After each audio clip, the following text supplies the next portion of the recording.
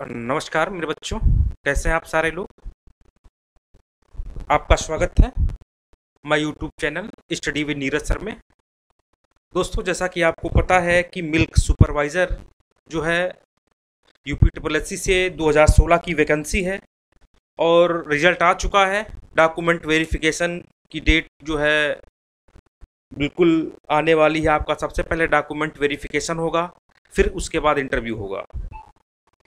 एक चीज़ बता दूँ कि 2016 में जिन्होंने मिल्क सुपरवाइज़र का फॉर्म डाला था, उनके लिए जो है सिलेक्शन लेने का बहुत अच्छा मौका है।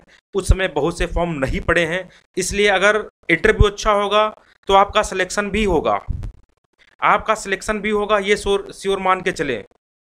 ध्यान रखना, बहुत ही इम्पोर्टेंट है जो है मिल्क सुपरवाइज़र का इंटरव्यू।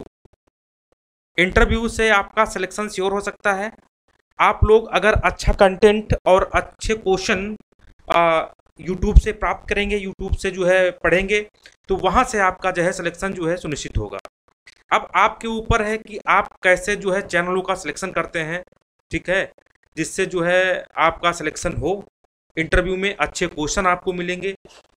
बहुत सारे बच्चों ने फ़ोन किया, सर मिल्क सुपरवाइज़र के इंटरव्यू की क्लासेस चालू करिए। इसके पहले मैंने जो है इंटरव्यू क्लासेस गन्ना पर्यवेक्षक और बहुत सारी जो एग्रीकल्चर की वैकेंसियाँ होती हैं, उनमें जो है इंटरव्यू की क्लासेस हमने चालू की है। आज भी जो है हम इंटरव्यू की क्लास लेके आए हैं आप लोगों को मिल्क सुपरवाइज़र देखिए, सबसे पहले मैं आपको बता दूँ कि अगर आपको मिल्क सुपरवाइज़र में अच्छे अंक लाना है, अच्छे अंक लाना है तो सबसे पहले जो दुग्ध से संबंधित सारे प्रश्न हैं, दूध से संबंधित सारे प्रश्न हैं, जो करंट का डाटा है। करंट का डाटा कौन सा देश, कौन सा राज्य पहले, दूसरे, तीसरे स्थान पर कौन सा कितना दुग्ध का उत्पादन करता है? दुग्ध से संबंधित योजनाएँ कौन कौन सी हैं? कहाँ कहाँ पर लागू की गई हैं? जैसे ऑपरेशन फ्लड है। तो ये तीन चरणों में हुई थी। प्रथम, द्वितीय, तृतीय, इनकी क्या क्या विशेषता हैं? ठीक है? क्या टारगेट रखा गया था?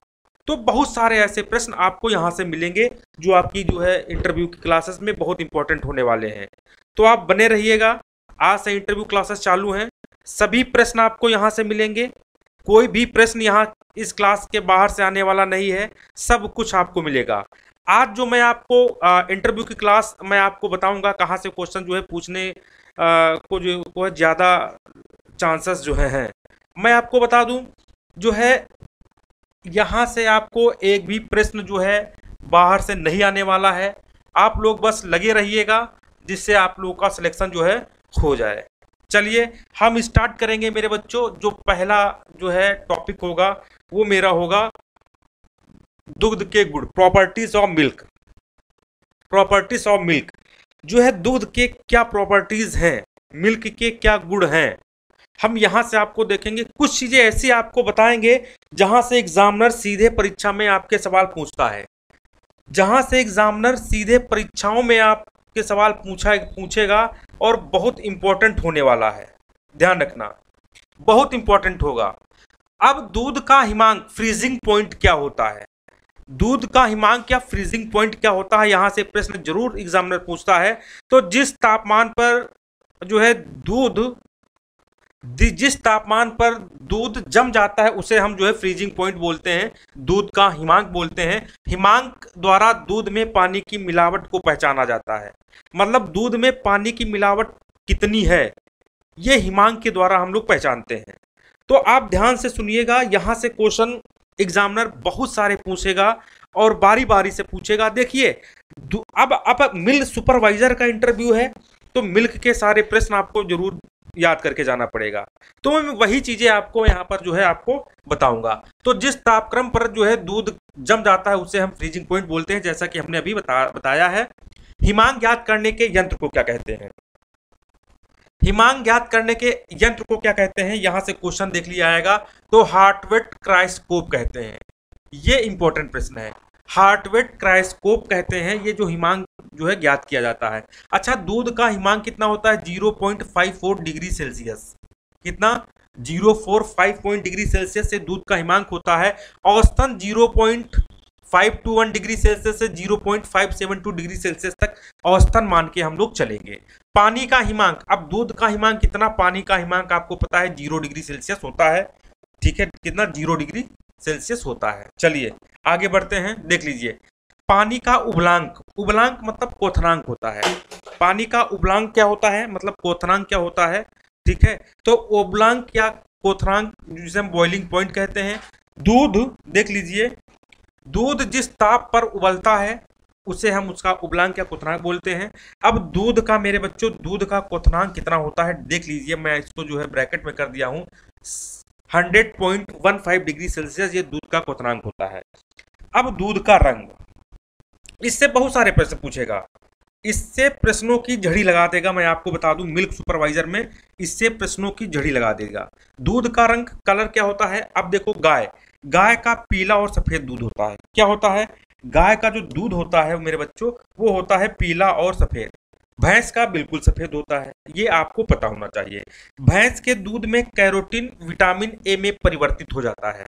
भैंस के दूध में जो कैरोटीन होता है, वो विटामिन ए में परिवर्तित हो जाता है। इसी कारण भैंस का दूध जो है, सफ़ेद हो जाता है। चलिए, आगे बढ़ते हैं।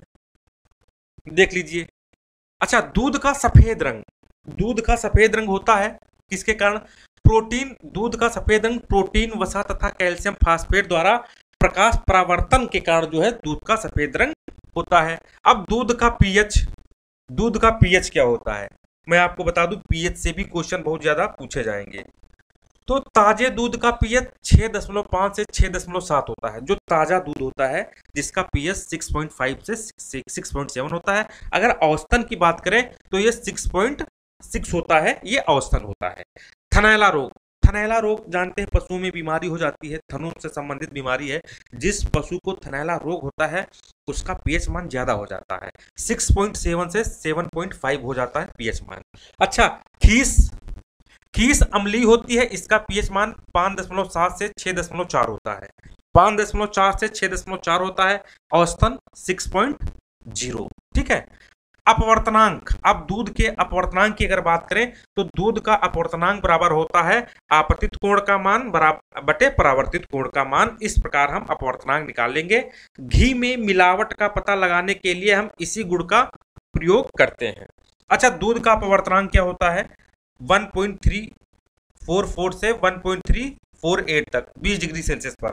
और पानी का अपवर्तनांक 1.33 होता है। ठीक? देखिए, आप इसको नोट डाउन कर लेना। इसकी पीडीएफ भी आपको मिल जाएगी। PDF study with Neeraj sir Telegram channel है। आप उसको ज्वाइन करिए।